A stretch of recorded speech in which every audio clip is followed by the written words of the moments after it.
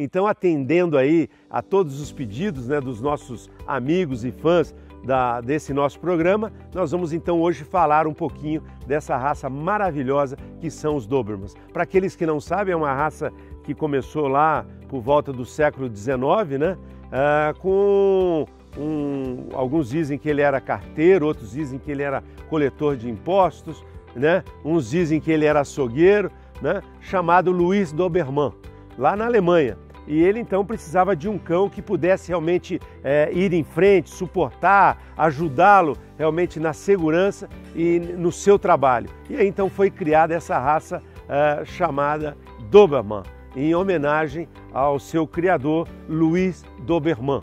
E hoje nós vamos conhecer um pouquinho. Nós estamos aqui num canil uh, em Atibaia, né? na casa, na verdade é uma casa de um amante dessa raça e que já cria já alguns anos e hoje nós vamos falar um pouquinho com ele para ele poder contar a sua história e como é que tudo começou. E eu estou em Atibaia, na cidade de Atibaia, nesse lugar lindo e maravilhoso aí, que depois vocês vão poder ver algumas imagens aí melhor uh, de onde nós estamos. Então, eu queria chamar o Alex aqui, que é o proprietário do canil Von Halex. Tudo bem? Tudo bom, Gilberto? Tudo jóia. Além de ser o, o, proprietário do canil Von Halex e tudo mais, de ser um amante de Dobermans e agora ele também está enveredando aí um pouco para, para os, do, para Rottweilers, né? É, ele é um grande amigo meu já de muitos e muitos anos. Eu só queria então saber de você, Alex, como é que começou essa sua paixão pelos cães? A, a raça Doberman é uma raça que eu sempre admirei pela aerodinâmica, pela dinâmica, pela velocidade. E eu vim de criação do dog alemão. Uhum. E aí, com o decorrer do tempo, eu fui mudando para Doberman. Aí adquiri alguns Dobermans no Brasil, acho que dois. E aí eu comecei a observar os cães fora e comecei a importar. Uhum. E aí eu importei mais ou menos uns 15 Dobermans, mais ou menos. E olha só, o interessante é que a gente vai mostrar alguns Dobermans hoje e as pessoas vão, alguns vão dizer assim, ah, são bonitos, são isso, mas eu quero ver trabalhando. Bem, nós vamos depois fazer um outro programa né, mostrando a dinâmica de trabalho, é, de obediência, de guarda né, desses animais. Mas hoje nós vamos centralizar realmente na história do canil, é, na estrutura. Tirar né, a fama né, de é, bravo. É, tirar aquela bravo. fama de, de, que o cão é um cão perigoso, Parece que ele ataca o dono, é, que ele tem o, o crânio apertado, comprimido, que de repente ele pode se virar contra o dono. Enfim, eu quero só lembrar, Alex, que antes de você nascer, e antes de muitas pessoas que estão nos assistindo, eu já tive meu primeiro Doberman. Eu com uh, para 10 anos, eu tive meu primeiro pastor alemão, okay. foi meu primeiro cão. Mas com ela, ela faleceu, né, que era a Cade, ela faleceu e eu fiquei deprimido, chateado, triste. E aí o que, que eu fiz? Comprou um Doberman. Comprei um Doberman. E aonde eu fui comprar um Doberman, né? Eu saí lá de Santo André, onde eu morava, e eu fui até a cidade onde eu moro hoje, que é Cutia. Eu fui até a Granja Viana. E naquela época a rua José Félix de Oliveira era uma rua de terra. E eu comprei o meu primeiro Doberman de uma mulher incrível, que na minha opinião ela é a mãe da raça, da, da raça aqui no Brasil. Né? É uma mulher sensacional para quem eu, eu tenho toda a minha reverência e a minha, vamos dizer assim, a minha atenção para com ela, que é a, a minha amiga, né? É, que já tem assim já uma, uma idade bem avançada, chamada Suzane Blum. É aquela pessoa que é, começou todo o trabalho com os Dobermans aqui no Brasil e de quem eu adquiri meu primeiro Doberman. E eu nunca me esqueço o nome dele, né? É, o nome dele é, era Loft, né? Olha só o nome, Loft, Loft. Mas o bicho era enorme, a coisa mais linda. Ela sempre teve uma linhagem europeia, né? É, da Alemanha e também depois de alguns anos introduziu ela, americanos. Não, não, ela antes de introduzir os americanos, ela criou muito tempo a, os holandeses, né? Que é a linha europeia. Né? Que é a linha europeia também, aqueles cachorros bem pesados, cabeças. Bem fortes. E eu tinha assim é, paixão pelo Loft, né? E o Loft era um, foi assim um cão maravilhoso na minha vida, um Doberman maravilhoso, com quem eu pude passar bons anos da, da minha, vamos dizer, infância ainda, né? Porque eu tinha 10 para 11 anos quando eu, eu adquiri o Loft. E foi uma coisa assim que eu nunca vou esquecer. E a Suzana, até hoje, ela é não, ela é criadora, ela é juíza, né? mas acredito que ela já até esteja meio que aposentada, né? devido à sua idade e tudo mais. Mas ela tem ainda o respeito é, de todos aqueles que admiradores. entendem. E admiradores, não só no Brasil, como também fora. Porque quem quem sabe é, da raça, quem conhece um pouquinho da raça, sabe a, sabe a história que Suzane Blum tem a sua mão lá dentro da raça. Exatamente. Né? E eu também não, não, não, não poderia deixar de, de, de citar né, é, um amigo nosso, né, que eu tenho também respeito, admiração, e que além dele ser um grande veterinário, é, ele também é, ele tem assim uma boa parcela, né, para não dizer uma grande parcela na evolução, na evolução da raça, que é o nosso amigo Edgar Morales Brito. Para quem eu mando o meu abraço, meu beijo, porque você é, sempre está aqui no nosso coração de verdade. É um marco na raça. É um marco na raça. Bem, nós temos aqui hoje, quantos cães você tem aqui hoje? Quantos Dobermans? Uns oito, nove cães. Uns oito, nove. Então aqui não é aquilo que a gente chama de um, um, um lugar, um canil ético, né? É, não tem assim, nunca houve do. Não é uma criação por atacado? Por atacado, é, por objetivo cria... comercial. Né? Exatamente. Né? Aqui é por amor mesmo. É por amor. Então ele cria uma vez ao ano, uma vez cada um ano e meio, Sim. uma ninhada assim, tira quatro, cinco filhotes, separa um, os demais às vezes ele presenteia para os amigos, como Exatamente. você presenteou para o nosso amigo Ricardo, para Ricardo Almeida, para mim, né? É. Então, e para muitos outros aí. O Ricardo Almeida, para aqueles que não sabem, é o grande estilista brasileiro, né? Ele tem um cão fantástico, maravilhoso, né? E que depois nós vamos também Filmar. mostrar para vocês. Que é criado como um filho, né? Que é criado como um filho, né? Que agora eu queria que você pudesse mostrar para nós um pouquinho vamos. do grande padreador que você tem, que é o Maradona. Qual é o nome dele de pedigree? Harley Del Samurai. Harley Del Samurai, mais conhecido para todos os íntimos como aqui. Maradona. Como Maradona. Então vamos lá. Bem, agora nós vamos aqui, o Alex está chegando, né? Ele foi lá pegar uma guia para poder mostrar para vocês um dos, um dos, maiores padreadores que, que ele já teve aqui no seu canil, que é conhecido como Maradona. O Maradona é conhecido não somente aqui no Brasil, mas também fora, nos Estados Unidos, na Europa, na América do Sul, em vários lugares, porque ele tem filhos que foram mandados para todos esses países aí, porque ele é foi né, e continua sendo um excelente cão, apesar da sua idade e da sua debilidade física que ele está hoje. Mas nós fazemos questão de mostrar para vocês é, o carinho, o respeito que o Alex tem pelos seus animais, né? Normalmente as pessoas, quando alguns cães chegam a uma certa idade, na velhice, eles são relegados em algum lugar lá né, e ficam. Mas o Maradona não, o Maradona ele tem uma vida de rei, ele costuma ficar lá dentro da casa junto com o Alex o tempo todo, mas agora ele estava aqui no canil, enquanto eles estavam arrumando lá, e ele está ali tranquilão. Vem cá, vem cá Maradona, olha só. Aí garoto, aí Maradona, vem cá, vem Maradona, vem, vem. Aí eu dei caminho para eles, faça. Muito bem, aí garoto, que lindo. É, moleque, cadê você? É o tio. Você não lembra mais do tio? Quanto tempo ele está agora, Alex? Sete para oito anos. Arley, vem aqui. Ele, ele é importante a gente frisar, né? Para as pessoas que estão. Pode deixar ele à vontade, deixa ele aí. É bom a gente frisar.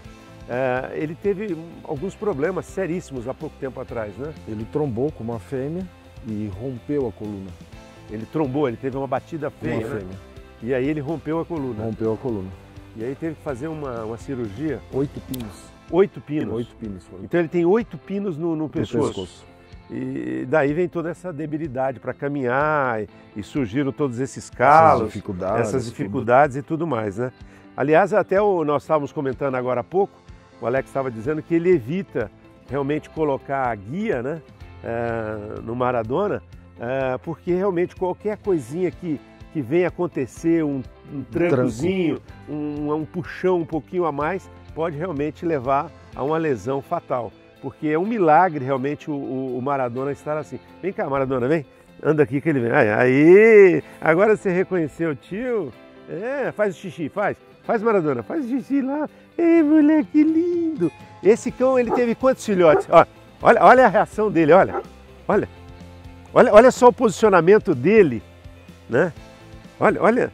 É, de você que eu estou falando, Maradona. Mais ou menos uns 250 filhos. 250 filhos. Mais ou menos. E, e, e, vocês viram que o instinto dele, a, a capacidade de guarda, de trabalho desse cão... Preserva. É, ele preserva, né? Ele, ele tem um, um posicionamento bem firme aqui como um cão de guarda, né? É o ambiente dele, né? É o ambiente dele, né? E uma coisa que as pessoas às Ele vezes... é o dono da casa. As pessoas falam, né? Falam assim, puxa vida, ah, ele é muito bonito, beleza, isso, aquilo, mas queria ver o temperamento. E eu conheço o Maradona desde pequeno. Você trouxe ele de onde? Da Argentina. Da Argentina, né? Ele veio pra, da Argentina para cá com quanto tempo? Cinco meses. Com cinco meses. Olha só. Bem, Alex, você estava dizendo que ele tem mais de 250 filhos? Tem. Foi para o mundo inteiro. Foi para o mundo inteiro. Ah, a média de quanto mais ou menos é vendido um, foi vendido um filho do Maradona? 5 mil dólares. 5 mil dólares, né? E ele dá todas as cores? Marrom e preto. Marrom e preto. Marrom e preto. Mais preto do que marrom, mas dá marrom também. Dá marrom também. E, e fala uma coisa para nós, para as pessoas que estão assistindo. Uh, ele, por exemplo, eh, que linhagem que ele é? Ele é uma linhagem europeia, americana? Como é que é a linhagem dele? Qual, Mais americana. Mais americana. Bem, nós estamos aqui agora na parte de baixo aqui da casa do Alex e conforme eu falei, aqui é a casa, a residência dele. Ele não é um criador comercial, ele cria aí uma, duas vezes ao ano e tira alguns filhotes para ele, para o seu deleite, né? E para alguns amigos e alguns ele acaba é, cedendo para outras pessoas, para bons lares. Ele sempre diz que a busca dele é, é, é conseguir bons lares, bom né? ambiente, bom, bom ambiente, família. família, né? Porque os Dobermans, ao contrário que todo mundo imagina, são cães extremamente é, afáveis, dóceis, né? São bons cães, cães de guarda, são excepcionais, não tenha dúvida Ágeis. sobre isso ágeis, inteligentes, né? Tem Mas toda. São Yorkshire de temperamento, com a família. É, desmistificando tudo aquilo que falam, né? Que são cães agressivos. Depois, na década de 70, vocês ainda não eram nascidos, né? Eu era. É, mas tinha, teve um filme chamado A Gangue dos Dobermans. Nossa, até hoje. Né? Todo mundo fala, ah, porque os cachorros são feras, são isso, aquilo. Mas são uns amores. Leais, fiéis. São muito, muito legais. Bem, nós temos aqui vários, ó, pode olhar que o canil está lá atrás, né? E tem vários cães, todos eles estão lá descansando. Nós vamos agora soltar alguns aqui para correr. Quem que você vai soltar primeiro? Vamos soltar um Inhaque, é filho de um cachorro chamado Inhaque. Inhaque. Esse Inhaque argentino é filho do Lex Luthor. Foi um ah, o Lex Luthor, para aqueles que não sabem, um dos maiores, um dos maiores Dobermans. Um dos, não, o maior. O maior, né? Do mundo maior dobro do mundo e... E ele teve um filho chamado Inhaque, muito importante também. Teve milhares de filhos, né? Mais um chamado Inhaque, muito importante. E, e eles esse... congelaram até o esperma dele, Sim, né? esse cachorro é filho de inseminação artificial. Ah, ele é? é filho do Inhaque e neto do, do Lex Luthor. Nossa senhora! Minha amiga Elza, do Black Shadow, mandou ele para mim, confiou ele para mim. E tem quanto tempo? Ele tem 14 meses. 14 meses, é tem informação uma, uma ainda. criança ainda. É, e quem nós vamos soltar junto com ele? Vamos soltar uma fêmea. Uhum. Mia. São dois cães importantes na raça, no mundo inteiro. Uhum. E olha o temperamento deles, né? Primeiro ah, contato que também. Foi, menina! Ah, isso! Olha a movimentação da Mia. A Mia participou da exposição? Participou bastante, bastante. ganhou bastante. A que é, era a escolha da Elsa do Black Shadow, que é a melhor criadora, no meu ponto de vista, do mundo inteiro. E esse era o cachorro dela pessoal que ela tinha escolhido para ela e, e ela pegou e mandou para cá. Ah, ela de onde é? Da Argentina. Ela é da Argentina. Aquilo que eu sempre falo. É, as pessoas às vezes põem o cachorro lá, já querem logo que eles acasalem, né, o macho, a fêmea. Eles não esperam o cachorro é, fazer as necessidades, tanto o macho quanto a fêmea. Eles precisam esvaziar a bexiga, o intestino, né? Então é super importante deixar correr, brincar, fazer algumas coisas antes, antes de colocarem juntos porque às vezes o cão está é, tá com o estômago cheio, com o intestino né, pronto para poder evacuar, a bexiga cheia, e ele não consegue copular. Por quê? Porque ele precisa realmente fazer as suas necessidades antes de tudo isso. Minha, vem cá, Minha. Vem. Ah, olha lá, ó.